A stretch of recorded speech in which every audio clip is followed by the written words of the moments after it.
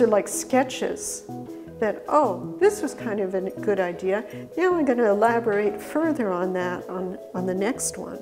At the time I realized it was a lot of work, but now as I look back, I think, wow, this was an extraordinary amount of work. But I really did just so enjoy it. It might not have been overwhelming if I had mapped it out, created some kind of storyboard. I guess it's just not the the way I enjoy working. And as a reader, and reading novelists uh, say, oh, I wasn't sure what the character was going to do. And I thought, what? You're the writer. Of course you know. But you really don't. You really don't. And I think the same is, is true with this, that there's a sense of discovery. And if you've got it all mapped out, then it's kind of boring. And you're just executing as opposed to creating exactly, as you go. Exactly. So the cabinet is a hexagon, and we were discussing how that mimics the honeycomb of bees. And then out from the top of this cabinet comes the paper wasp nest. And I've actually seen people quite afraid to approach it because, let's face it, wasps are sort of the villains of the insect world. So I was talking about how man tries to tame nature, so to have this almost dangerous wasp nest coming out is almost like that warning uh, that you need to be careful with what you take on. What happens with my installation projects in which the insects are on the wall? There's a certain amount of wear and tear. And I save the parts, uh, sometimes using them as kind of transplants, prosthetics or cyborgs or something. I was casting a lot of beeswax figures and I think I just plopped that head on. What I like so much about that though is that oddly, the cicada lady seems to have almost some sort of depth as a character because she's doing all these different things that you can imagine that oh she's taking care of this baby but here she seems to be leading an army. You know I was like wait a minute who is this cicada lady? Wow she's uh, every woman today. Right exactly. There's something kind of fantastic about that. Yeah, yeah. that's interesting I pulled out this drawer because it contains one of the most impressive beetles, considered maybe the largest in the world. It's in the Goliath beetle family, Goliathus orientalis. Biggest in terms of weight as opposed to, to length. Now, one of the challenges with doing the cabinet, I think, was that I had to, to take into consideration that people would be looking down on everything. And so everything is from that perspective. And it, and it really wasn't used, used to that. And the other thing too is that for the most part, we pulled out the drawers uh, all the way, but typically people would not be doing that. So the action had to be up near the front. I've used quite a few feathers, which was new for me. And what I love is the way the feathers hit the glass, the textural things that happen and how they create this kind of jungle atmosphere. These are all marbled, hand marbled papers, sadly not done by me. Uh, most of them come from Brazil, actually, but they definitely are in keeping with the 19th century feel that the cabinet has.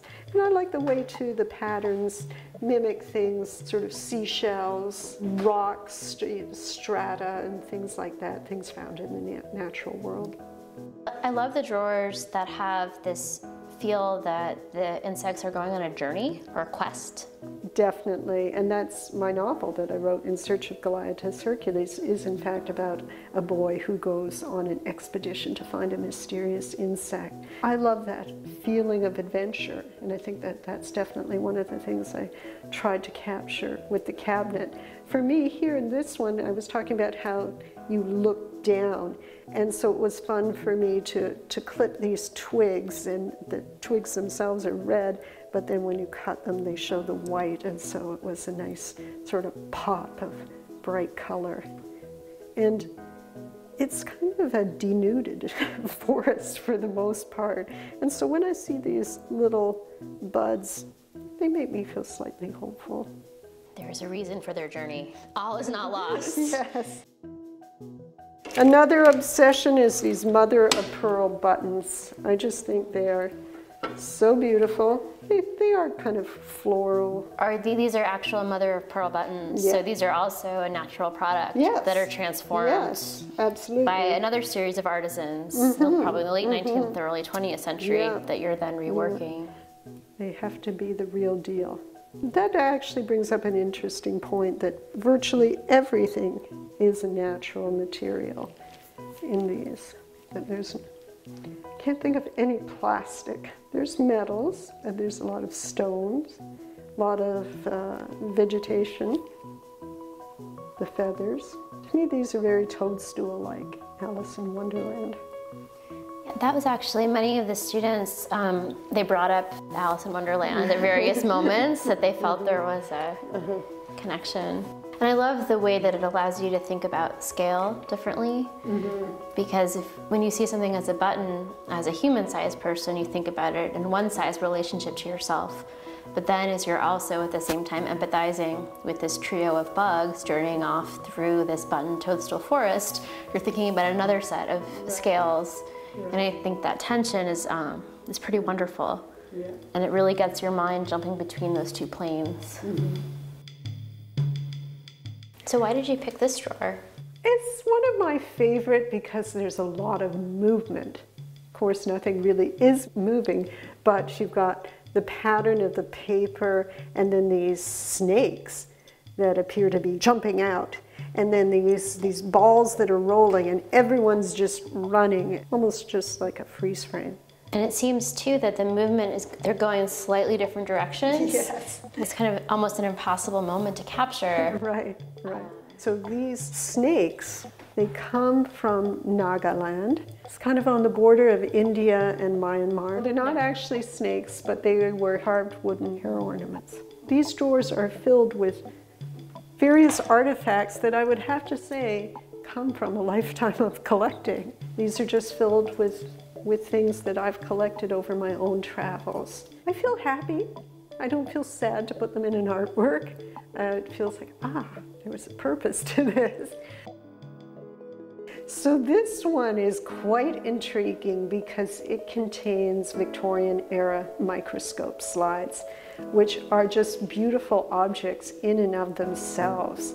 They have a decorative, what I would describe as a decorative paper, uh, typically a kind of window and patterns around it. And these slides are actually all of insects or insect parts.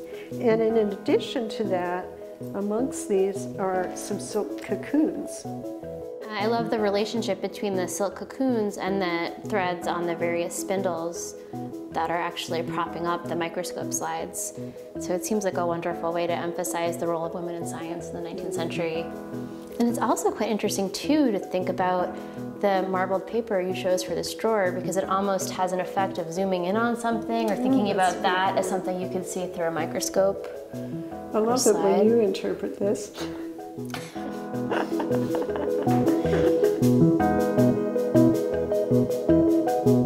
With this one, really kind of creating this floral carpet, the fabric for these flowers I actually dyed with natural dyes. Indigo, for sure, there's Osage orange, but they're all natural dyes and that was really important to me. And it's uh, silk velvet, so a natural fabric, and I sent it to New York to Manhattan, where the last fabric flower manufacturer is. It's really a, a fantastic place for someone like me. And in many respects, these green stag beetles are a little bit camouflaged. Of course, they're a gorgeous color in and of themselves.